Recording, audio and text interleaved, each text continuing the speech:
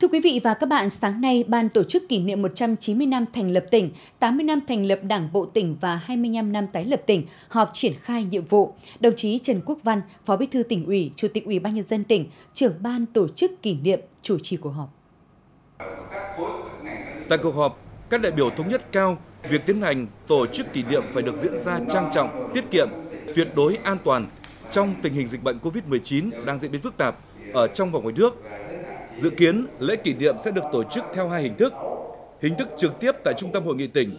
và được tổ chức trực tuyến tại 10 điểm cầu của 10 huyện, thành phố, thị xã trong tỉnh. Các hoạt động hướng tới kỷ niệm và tổ chức kỷ niệm đều phải được tiến hành một cách nghiêm túc bài bản với chất lượng tốt nhất.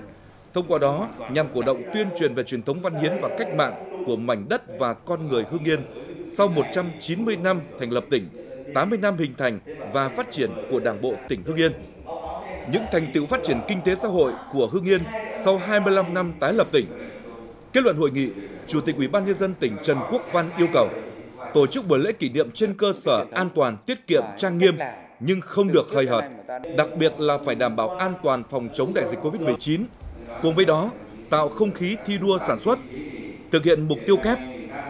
Thông qua đợt kỷ niệm để làm đòn bẩy thực hiện thắng lợi các chương trình mục tiêu mà nghị quyết Đại hội Đảng bộ tỉnh lần thứ 19 đã đề ra.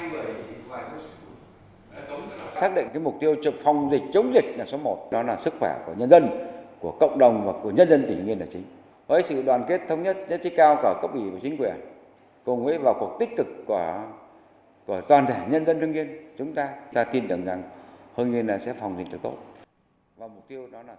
Đồng chí Trần Quốc Văn, Chủ tịch Ủy ban nhân dân tỉnh giao văn phòng Ủy ban nhân dân tỉnh tổng hợp ý kiến của các đại biểu để trình và xin ý kiến của thường trực Ban Thường vụ tỉnh ủy.